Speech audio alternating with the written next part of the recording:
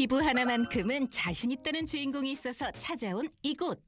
열심히 스트레칭 중인 두 사람. 안녕하세요. 안녕하세요. 안녕하세요. 아, 지금 뭐 하시는 거예요? 아, 지금 간단하게 스트레칭 하고 있어요. 운동 끝나고 와서 몸 풀어주고 이제 좀 쉬려고요. 아, 운동 끝나고 오셨는데 또 운동을 하세요? 아, 이제 뭐 좀몸 좀 근육을 좀 풀어줘야 되니까 자연스럽게. 그래요? 네. 맞아요. 네. 근데 두분다 이렇게 딱 보면은 두 분 다 이렇게 동안이신 것 같은데. 어디 가면 동안이라는 소리 듣는데 우리 동생 옆에 있으면은 제가 조금 기가 죽어요. 아, 그래요? 네. 아니야, 완전 언니도 어려 동안이에요.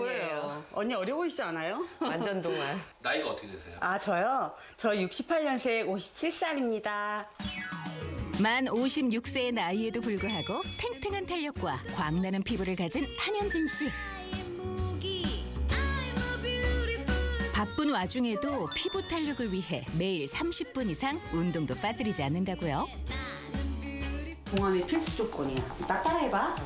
일단 한 손은 뒤로 제끼고 한 손을 쭉 올려. 올려서 딱 내려봐. 뭉친 어깨와 목 근육을 풀어주어 얼굴 리프팅에 도움되는 자세라는데요. 쭉 내리세요. 나는 왜안 맞나요? 다니? 나는 왜안 다니? 자, 이거는 그냥 꾸준하게 꾸준하게 이렇게 해주시면 되게 좋아요. 운동을 마치고 곧바로 화장실로 향하는 그녀.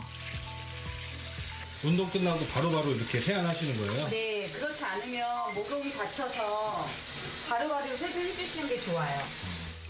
세안 후에는 스킨 로션 단계는 건너뛰고 수분 크림만 바르는 게 그녀만의 비법. 이렇게 바로 수분크림을 이렇게 발라서 그냥 마무리를 해줘요, 간단하게. 너무 집에 있을 때는 너무 두껍게 바르면 너무 무겁고 해서 이렇게 가볍게 수분크림을 발라서 마무리를 합니다. 쫀쫀한 모공과 탄력 있는 피부 덕분에 동안 외모를 가지고 있는 한현진 씨. 피부 나이를 의학적으로 검증해 보기 위해 병원을 찾았습니다. 정확한 진단을 위해 다양한 기계로 촬영을 했는데요. 피부 진단 기계 촬영 진행하실 거고요. 머리띠 먼저 착용 부탁드릴게요. 여러 각도에서 다방면으로 검사해 피부 나이를 분석했습니다.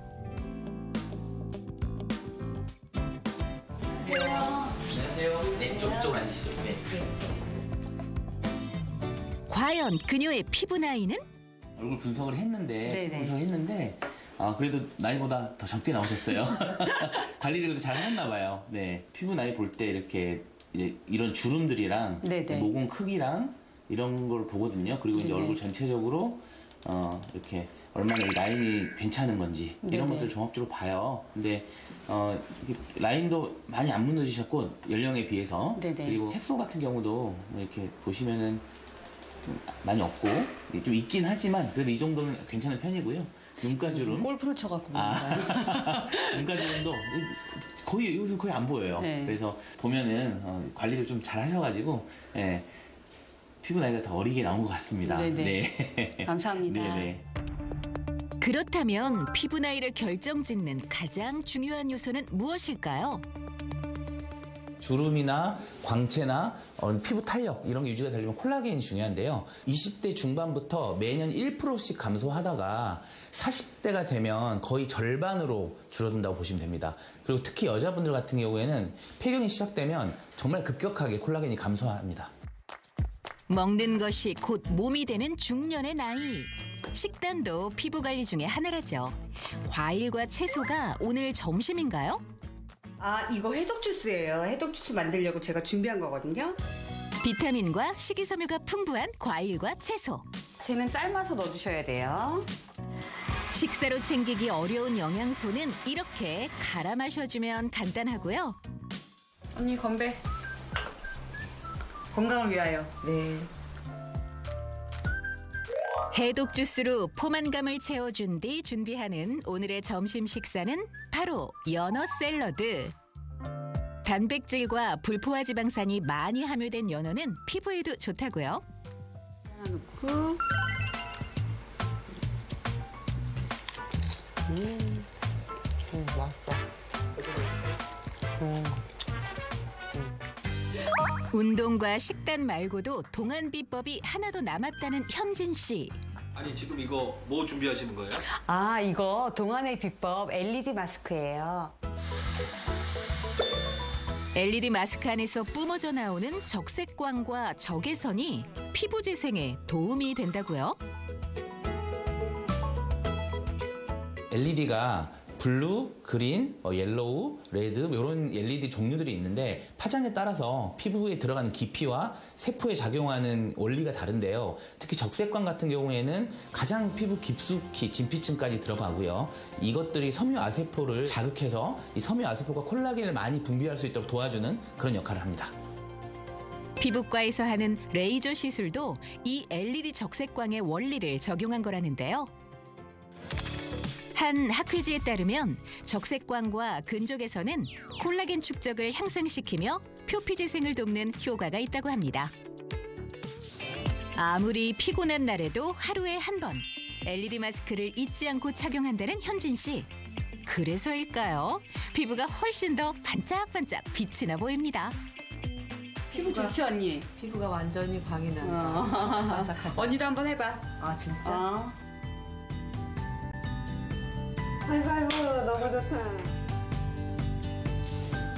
바야흐로 100세 시대 건강한 식습관과 꾸준한 운동으로 젊음을 유지해보는 건 어떨까요?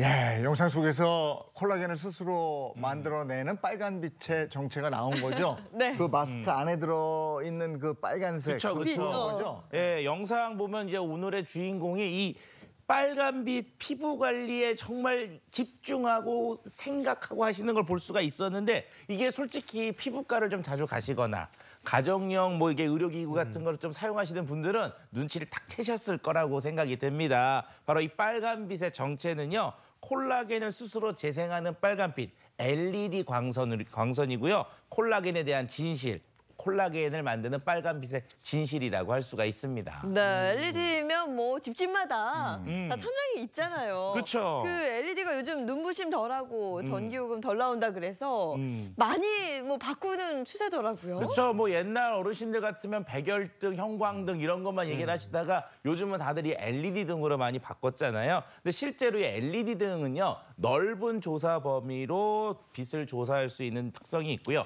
가격이나 안전성 같은 것들이 상대적으로 높은 특성이 있습니다. 피부과에서 피부 재생 같은 경우에 치료에 많이 사용을 하고 있는데요. LED 광선을 통해서요. 열로 피부 속을 이렇게 자극을 해주잖아요. 자 그러면은 섬유 아세포가 증가하고 이로 인해서 엘라스틴과 콜라스텐의 콜- 콜라겐의 재생이 늘어나게 되는데 이것이야말로 콜라겐을 늘리는 효과적인 방법이라고 알려져 있습니다. 음, 그렇군요. 응. 그리고 실제로 또 한 연구에 따르면은요 적색광이 식물 성장 및 개화를 촉진하는 결과를 보였다는 연구 결, 결과가 있고요. 적색광은 상대적으로 높은 양자 효율을 갖고 있어서 고도로 흡수되는 장점이 있다고도 합니다. 이를 통해서 빨간빛이 식물의 생장에도 영향을 미쳤다는 것을 알 수 있는 결과의 연구 결과가 발표되기도 했습니다. 어, 이 빨간 빛의 힘을 좀 확인해 볼 수 있었는데요. 지금 저희 스튜디오 한쪽에서도 뭔가 이 빨간 빛을 네, 뿜어내고 있습니다. 지금 사용을 해보고 있는데 저 기기의 저 빨간 빛이 이게 LED 광선이라는 거죠? 네, 맞습니다. LED 마스크는 피부 노화를 촉진하는 자외선 영역은 완전히 배제를 하고요. 가시광선 영역과 가시광선에 근접한 근적외선 영역을 사용해서 특정 파장이 피부 세포의 활성화를 도와 피부 관리에 도움을 줄 수 있게 되는 것입니다. 가시광선 영역에는 여러 가지 색이 다양하게 분포가 되어 있지만 빛의 색깔에 따라 피부에 침투할 수 있는 깊이가 다릅니다. 그래서 콜라겐 생성에 빨간 빛이 도움이 된다고 강조를 하게 되는 거고요. 이렇게 LED 광선으로 피부 속에 열, 피부 속을 열로 자극하는 것이야말로 섬유 아세포를 늘려서 콜라겐을 증가시키는 효과적인 방법이라고 할 수가 있겠습니다. 네, 실제로 한 연구에 따르면요. 이 에리 적색광을 세 달간 한번 관리를 해봤다고 합니다. 그랬더니 광노화 증상이 50% 감소했고요. 주름은 36% 그리고 피부 탄력은 19%까지 개선된 걸 확인할 수 있었다고 합니다. 또 다른 연구에서는요. LED 마스크 기기를 사용한 후에 눈가 주름의 척도를 확인을 해봤는데요. 8주, 12주, 16주에서 모두 유의미한 차이가 보였었고요. 오. 12주간 사용했을 때 눈가 주름이 개선됐고 4주 후에도 개선된 상태를 이렇게 유지된 걸 아, 확인할 네. 수 있었다고 합니다. 아까 얘기가 콜라겐을 스스로 합성하는 게 아까 섬유 아세포 음. 그랬는데 네. 그것하고 관계가 있는 겁니까? 그렇죠. 우리가 일반적으로 콜라겐은 어디에 있느냐? 피부의 진피층에 있고요. 그 진피층에 있는 섬유 아세포를 자극을 해줘야 이 섬유 아세포가 콜라겐을 이렇게 막 만들어낼 수가 있습니다. 그럼 결과적으로 자극을 위해서 광선이 진피층까지 침투를 하는, 해야지 되는 특성이 있는데요. 그런데 우리가 일반적으로 가시광선 영역에 있는 파란빛은 파장이 짧아서 침투가 안 되고 피부 얕은 곳까지만 들어갈 수가 있는데 이 빨간색인 적색광은요. 피부 깊숙한 진피까지 침투할 수 있다고 합니다. 그래서 LED 광선을 이용해서 피부가 기분 좋은 열감을 느낄 수 있도록 해주는데요. 자, 우리가 가끔 이렇게 운동을 막 재밌게 하고 나면 즐겁게 하고 나면 뭔가 열감이 이렇게 싹 올라오면서 피부가 이렇게 그렇죠. 탱탱하고 좋아지는 것 같은 그런 경우들이 네네. 있잖아요. 비슷한 그런 이론이라고 비슷한 거라고 볼 수가 있습니다. 피부 속 체내열이 올라가고 좋아지게 되면은 진피층의 섬유화 세포가 활성되는 경우들이 많습니다. 또한 이것이 바로 이 콜라겐을 만들어내는 신호라고도 볼 수가 있죠. 음, 일단 깊숙하게 이렇게 침투를 했으니까 어, 아무래도 섬유화 세포를 활성화시키기에 훨씬 더 유리하겠네요. 네, 이렇게 피부 깊숙이 진피층까지 LED 빨간빛이 도달하게 되면요. 에너지 공장이라고 알려져 있는 미토콘드리아를 활성화시킵니다. 그리고 섬유 아세포를 자극해서요. 콜라겐의 합성을 증진을 시킵니다. 그러다 보면 당연히 우리 피부의 탄력과 주름 개선에도 도움이 되겠죠. 어, 이렇게 LED 광선을 통해서 피부 속을 열로 자극해서 섬유 아세포를 활성화시키고 콜라겐과 엘라스틴의 합성을 증가시켜서 우리 피부를 탄력 있게 만드는 효과적인 방법이라고 볼 수 있겠습니다. 음, 어. 아까 영상 보니까 지금도 그렇고 가정용 LED 마스크 같은 경우에는 이렇게 착용을 한 다음에 다른 일도 할 수 있고 집에서 네. 편리하게 사용을 할 수가 있는데 그러면 이게 피부과에서 사용하는 거하고 효과가 비슷하냐 이것도 알아봐야죠. 아무래도 이제 출력의 차이가 있겠죠. 특히 안전에 관련해 있어서 저 그 전자기기 제품은 한계를 가질 수밖에 없어서요. 아무래도 가정용 기기로 저 제작된 LED 마스크 같은 경우는 출력이 비교적 좀 낮은 편이긴 합니다. 집중 LED 적색광과 적외선은 동시에 피부에 쏘는 방식이라 피부과 시술 장비와는 출력값이 좀 다르지만 원리 자체는 좀 동일하다고 볼 수 있긴 한데요.